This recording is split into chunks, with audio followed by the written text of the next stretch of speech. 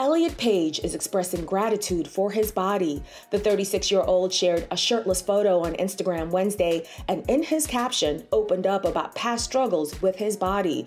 The Umbrella Academy star recalled how his experience with gender dysphoria was once especially rife in the summer.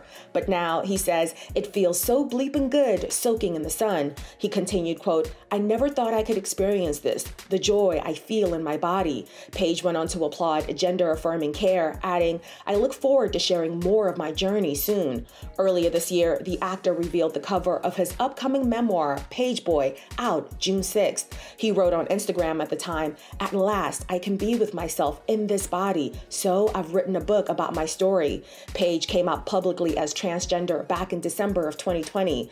Last year, he said on Late Night with Seth Meyers that he felt an extraordinary degree of joy and presence after doing so.